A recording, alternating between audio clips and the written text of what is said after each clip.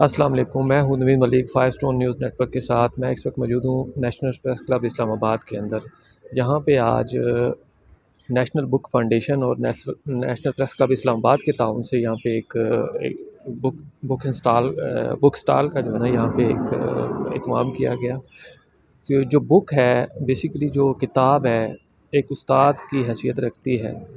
और आप देखने में आ रहा है कि बहुत कम होता जा रहा है कि अब जो रीडिंग है रीडिंग साइड पे आप देख रहे हैं बहुत कम हो रहा है, क्योंकि जैसे ही मोबाइल डिजिटल मीडिया और ये सारी चीज़ें आने के बाद जो है ना तो ये बड़ा एक अच्छा इनिशिएटिव है। हमारे साथ मौजूद हैं सैयद फ़िदा फ़िदा हुसैन शराजी साहब जो यहाँ पे जो प्रेस क्लब की लाइब्रेरी है, यहाँ पे चेयरमैन है और साथ हमारे बुक फाउंडेशन से हमारे साथ सारे मौजूद हैं। थोड़ी सी हम आज बात करेंगे कि कैसा रहा आपका रिस्पांस, ये जो बुक फाउंडेशन के ताउन से यहाँ पे नेशनल प्रेस इस्लामाबाद में बड़ा अच्छा इनिशिएटिव लिया गया।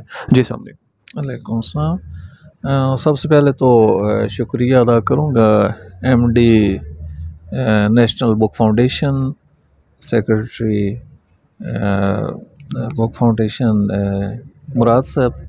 और दीगर अहबाब का कि एक अच्छा इकदाम था स्टॉल का। आज अच्छा रिस्पांस भी मिला। जर्नलिस्टों को बुक्स वगैरह उन्होंने काफ़ी परचेज़ भी किए हैं यहाँ से। तो किताब का तो कभी सिलसिला ख़त्म हो ही नहीं सकता। जब भी तारीख़ की ज़रूरत पड़ेगी, जब भी आपको अदब लिटरेचर की कहीं कुछ चीज़ों की ज़रूरत पड़ेगी किताब तो आपको लाजमन रखनी पड़ेगी। ऐसा मुमकिन नहीं है कि आप हर चीज़ को ही नेट के ज़रिए ही खंगालना शुरू कर दें। अथेंटिक नहीं रहती चीज़ें। यानी जब आप सोशल मीडिया पे आपने बाज़ देखा होगा कि किताबों के हवाले रेफरेंसेस दे रेफरेंसेस दे दिए जाते हैं और वो अक्सर गलत भी होते हैं। तो वो जो गलत किस्म के रेफरेंसेस हैं उन से दूरी इसी तरह अख्तियार की जा सकती है कि असल किताब की तरफ़ आया जाए। तो मेरे ख्याल में तो बुक फिर हर जगह पे मुनद होने चाहिए और लोगों नौजवानों को भी किताब की तरफ़ रागब करना चाहिए। जो ओरिजिनल किताब है, उसका तो अपना ही एक मकाम और मरतबा है ना।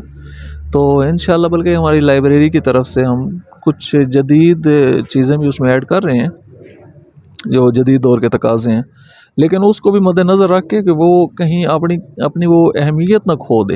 यानी हम नहीं चाहते कि किताब की जो अहमियत है वो किसी तौर पे कम हो। अगर ई लाइब्रेरी का भी कॉन्सेप्ट है तो ई लाइब्रेरी में भी ओरिजिनल जो किताबें हैं, उन्हीं के